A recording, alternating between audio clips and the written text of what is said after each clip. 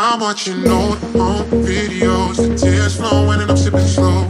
Wishing it was this easy to press rewind. I'm watching.